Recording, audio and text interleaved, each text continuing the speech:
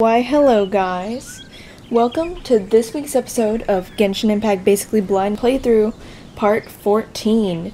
And today, we are over here because I was doing some stuff. But you know what? Because you guys are probably going to be curious, I'm going to show you that stuff. I'm going to show you a little clip of that stuff right now. Um, it's on the screen right now, and it's actually going to be really cool and I'm going to post it I'm going to post how to get it on my shorts video. Because I know people want that free loot. You know that 100% exploration you know of wherever this place is. Hello sir After having experienced the land of the absentee Archon, traveler, how does it feel to know that our Archon and Adepti are here all around you in Liyue? Oh my gosh, is he talking trash about Venti? I'm going to smack you across the face. Liyue is the most prosperous of the seven nations, defended by deities and ruled by the Qixing. As such, the diplomatic maneuverings of the Fatui have gained no purchase here. Say that to Childe, but okay. Ningguang of the Qixing has always been on her guard against the Fatui. That is in all likelihood why Childe wants to make use of the Wangsheng funeral parlor's connections. Ah, I see, I see, I see, I see you, man. Well then, let us be off. The first step in our preparations shall be to obtain some prize Noctilucous jade worthy of a deity. The what jade? I'll take them all, boss. Oh, what? Wait a minute. Does he have a rat tail? I went whole last week's video thinking he had short hair.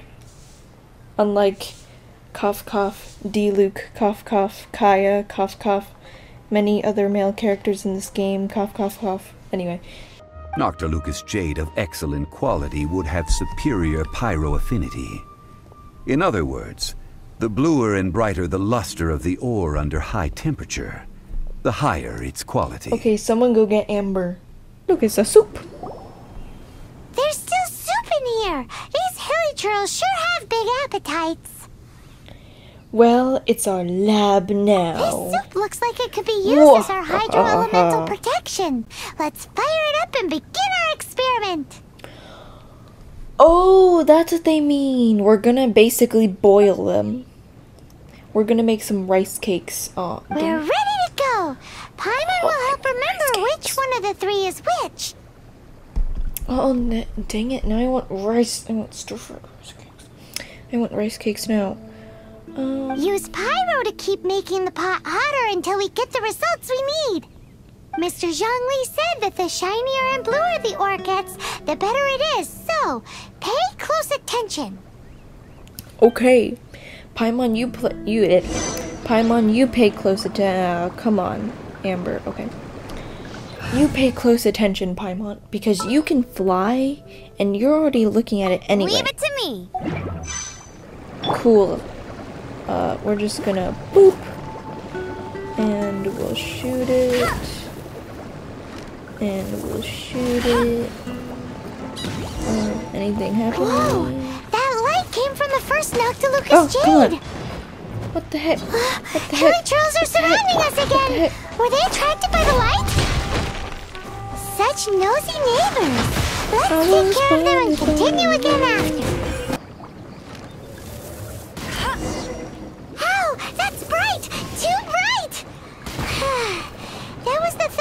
Noctilucous Jade, wasn't it?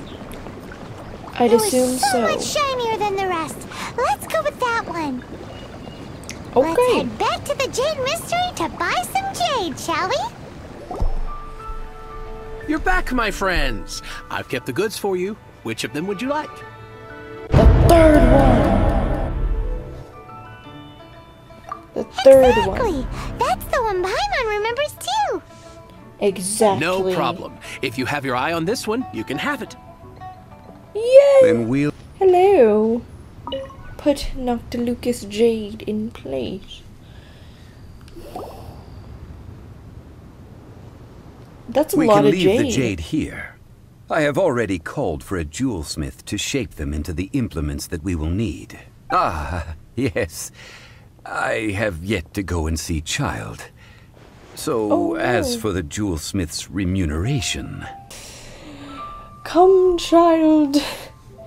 Give us the Mora we Guess desire. we can't do anything else. Also, is this where we're doing the rite of parting?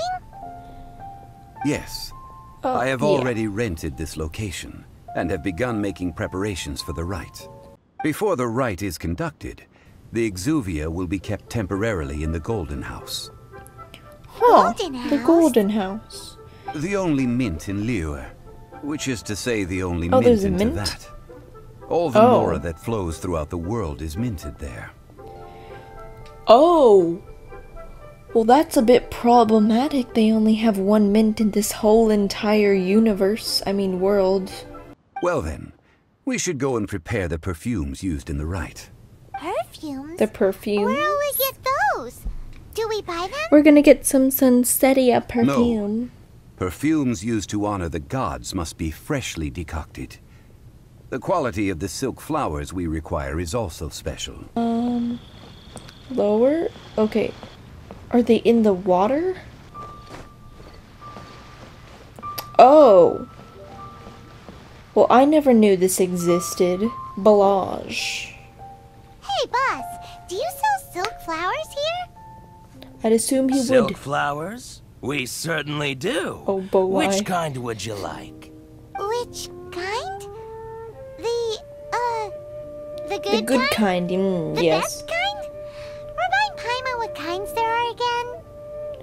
There's the good ones and the best ones, and then there's the crap ones that no one likes.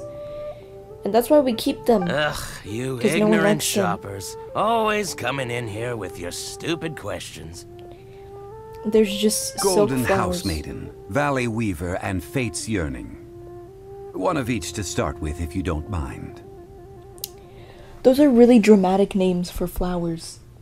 My goodness, this gentleman is quite the connoisseur. You two must this be his servants. Uh, please refrain from any further attempts to contribute. Servants, sir. this is what I get for calling Paimon emergency food. Now then, please peruse at your leisure. Do let me know if you have any further thoughts.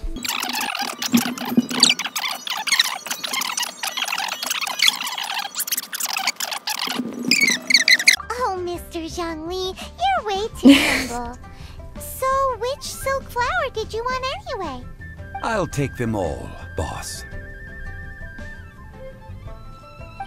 I'm gonna buy your whole stock and give you a How whole I put this? 13 bucks, When purchasing opera tickets, it is natural to decide based on which singer has the most melodious voice.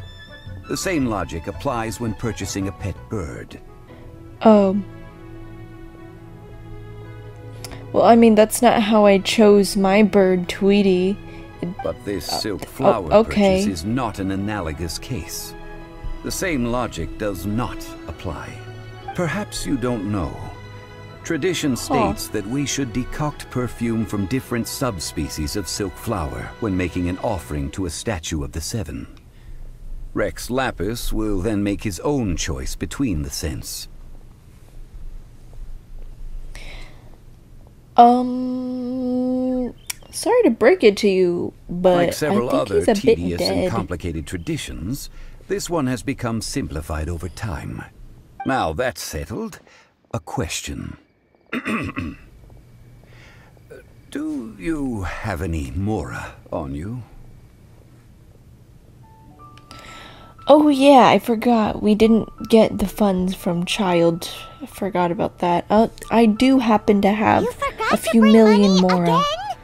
So yes. Zhongli. Since these flowers will be used to glorify our Lord, they're free of charge. Just don't forget to pass on my regards. Oh heck yeah. Are you serious? Why Okay. wouldn't I be? I would be nobody if not for Rex Lapis. If he hadn't written those poems in praise of my wares, they'd only be worth a fraction of what I can sell them for today. Huh.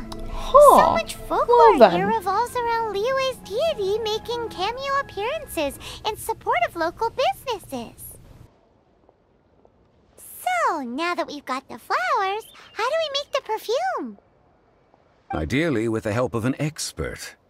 Unfortunately, none of my acquaintances have personal experience in the art of decoction. I will wait for you near the statue of the Seven. Okay. Meet me there when the perfume is ready. Maybe we can find some good candidates at the Adventurers Guild. Let's ask Lan! She's master of the Liyue branch, right?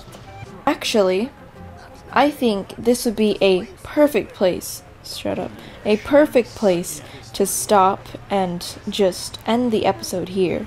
Because this is going to be a lot to edit. So, actually, make sure you pay your video fee and make sure to like and subscribe because that would really help a lot. Um, make sure you share this series with all your your friends and all your loved ones because they would love they would totally love to see my content totally. Um so anyway i'll see you guys later. Bye